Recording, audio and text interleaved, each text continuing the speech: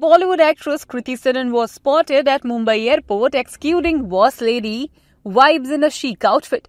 She wore a black top paired with blue denim jeans, perfect for a stylish travel look, adding a cool touch to her ensemble were black goggles which added a trendy touch.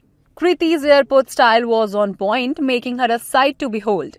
Her black top was simple yet elegant, pairing perfectly with the blue denim.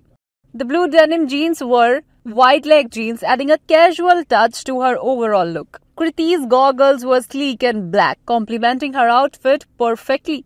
She walked through the airport with confidence and poise, turning heads as she went. Her boss lady vibes were unmistakable, making her stand out in a crowd. Kriti's outfit was a perfect blend of style and comfort. Ideal for travel, she paired her outfit with a stylish footwear, which added a sleek touch. Her hair were open and keeping her look effortless and chic. Kriti's makeup was minimal, allowing her natural beauty to shine through.